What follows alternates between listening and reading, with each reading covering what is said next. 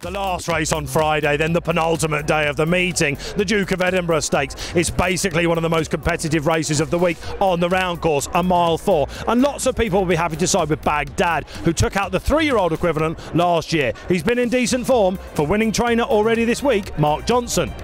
Perhaps the bet of the week could be Corgi here. He's one pound better off basically with Fujaira Prince, who was ahead of him when they met at York. Sizzling handicap form. First 11 won that race, of course. Looks like he's Ebor bound. I think they're going to boost it basically. Fujaira Prince had the run that day and the run of the race. Corgi, second in the race last year. He can go one better.